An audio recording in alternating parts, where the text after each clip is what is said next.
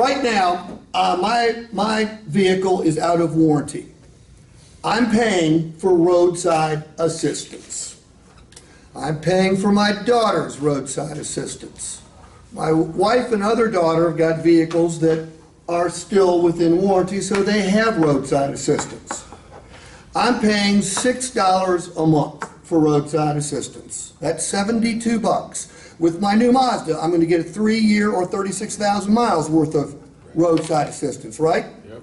So that's gonna save me two hundred and ten, two hundred and sixteen dollars in roadside assistance. Is there value to that two hundred and sixteen bucks? That's what I just saved. Yeah, right. Why don't we say it? Now, um, let's say my engine blows two and a half years from now and the car's got 30,000 miles on it. How much do I pay to put a new engine in? Zero. Zero.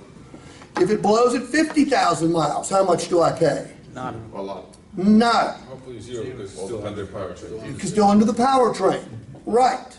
So I'm gonna get a thirty-six thirty-six comprehensive warranty. I'm gonna get a five sixty powertrain warranty. You think these things have value? Well, let me ask you, the next time the customer says, hey, Marvin, I need another thousand off, you look at him and say, shoot, I give you fifteen hundred off, you just don't get any warranties, you in? What's the customer gonna say? I ain't in. So we know it's worth fifteen hundred bucks. I've, I've, I've always wanted to see how low I could go before the customer said, okay, I'll do it. You know, just to see what the real value is. Do I get Sirius radio or anything? Depends on the model. Depends on the trim. Okay, you sold me a cheap one, you son of a bitch. Depends on the grant company.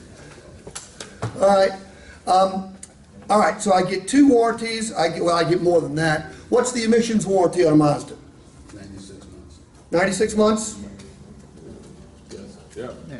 eighty thousand miles, or is it just ninety-six months? Ninety-six months. Ninety-six unlimited? What's the seatbelt warranty?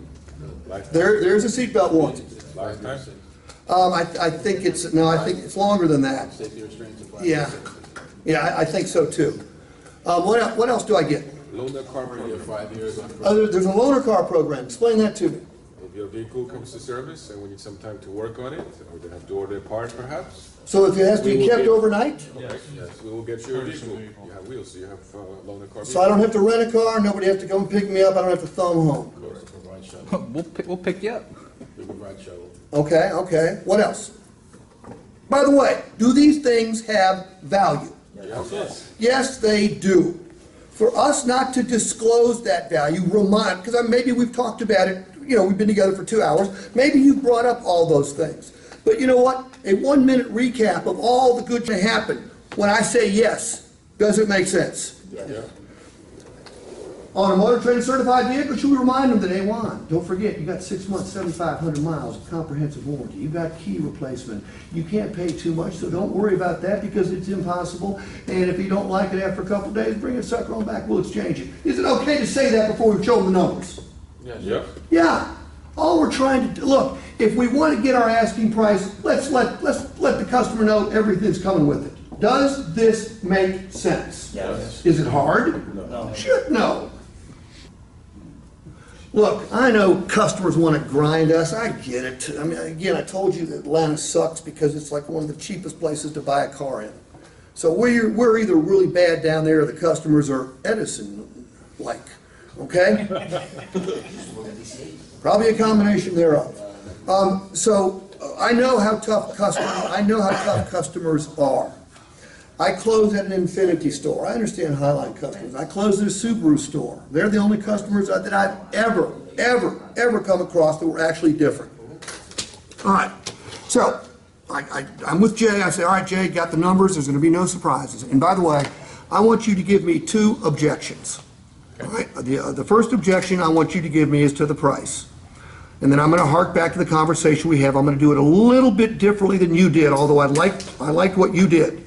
I'm going to do it a little bit differently, and you go, okay, okay, then I can live with the price, but I want a lower payment.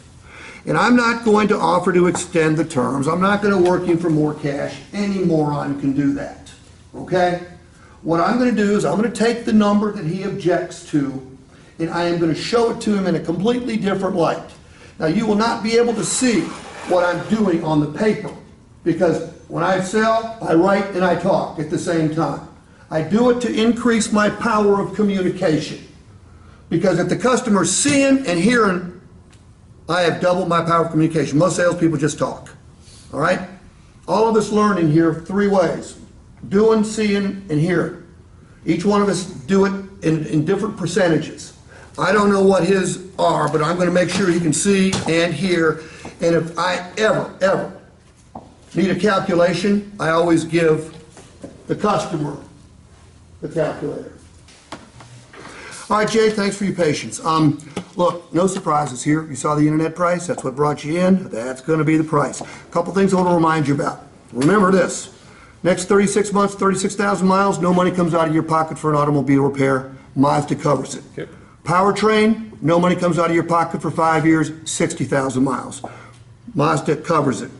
Roadside assistance, you may be paying for roadside assistance on your physical damage insurance policy. If you are, quit it. Um, some people pay for it on their mobile phone bill. If you are, quit it, because for the next three years, thirty-six thousand miles, you're covered, okay, by Mazda.